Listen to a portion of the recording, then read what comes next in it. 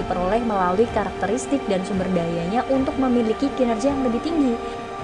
Kalau kita mempunyai norm yang tinggi, maka pasar atau uh, kompetitor ini akan sulit bersaing dengan kita. Nah, kalau kita bicara karakteristik utama dalam sebuah sumber daya yang jika bersamaan ini akan membantu sebuah keunggulan yang kompetitif dan berkelanjutan, siapa sih yang nggak mau bisnis kita sustain? Siapa sih yang nggak mau bisnis kita terus berkelanjutan? Tidak hanya untuk uh, kita sendiri, tapi juga untuk tim kita.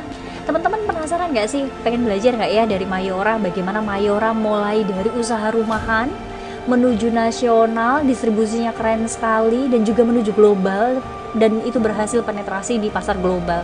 Kita kupas tuntas ya di Business Summit di 28 November 2003 salah satu pematerinya adalah Bapak Riki Afrianto Global Marketing Director PT Mayora Indah